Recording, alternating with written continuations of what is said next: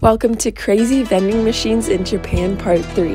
This is a mystery vending machine in Osaka where you can put various amounts of money like 200 yen, 300 yen, or even as cheap as 10 yen. We got different types of drinks, smoothie, chips, and some kind of lemon pudding, and even a frozen fish dinner. Check the location in the description below and follow for more.